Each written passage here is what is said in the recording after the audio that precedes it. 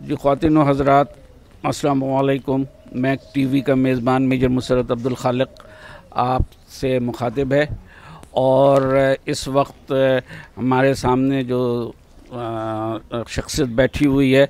इनका नाम है हलीम ख़ान साहब हैं और ये भी सबका ई पी सी एफ़ के अहदेदार रहे हुए हैं, आए हैं। पिछले दिनों में इनकी भी रिकोगशन हुई है और इन्होंने जो टीम बनाई है, वो आपने पहले रुदाद में सुनी होगी।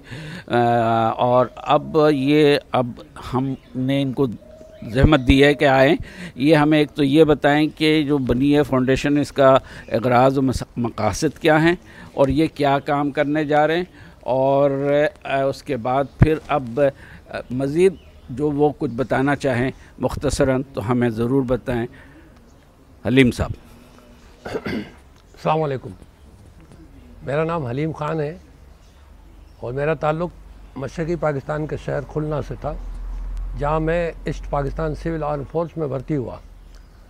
तो अब यहाँ कराची में हमारा एक फाउंडेशन बना हुआ है पाकिस्तान ईपीसीए फाउंडेशन जिसको हेड कर रहे हैं जनाब शेख नायक शेख मुकीम साहब और जिसके नायब सीनियर नायब सदर हैं नायक ईसा सिद्दीकी साहब और चेयरमैन शमसुद्दीन साहब।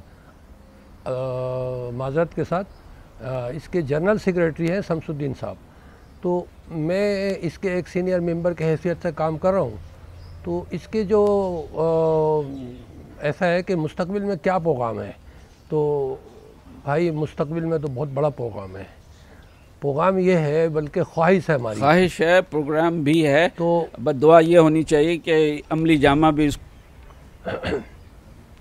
तो Pakistan E P C A foundation अपने आ, बहुत महदूद वसाइल के साथ।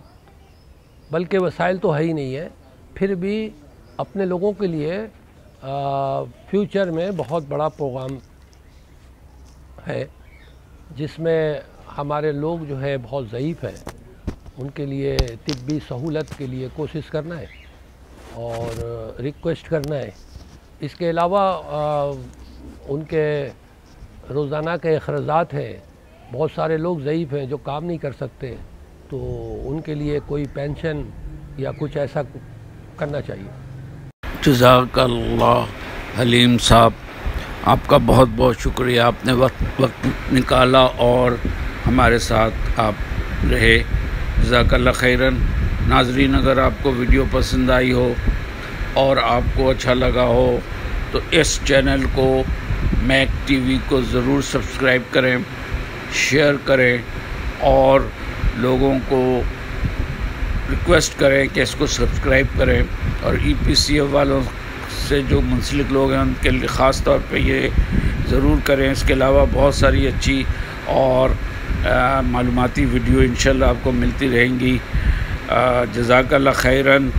आप लोग, अल्लाह ताला आप लोगों का हामी नासिर हो और आपको अपने हिफ्ज़ ज़मान में रखे और दुआ करें।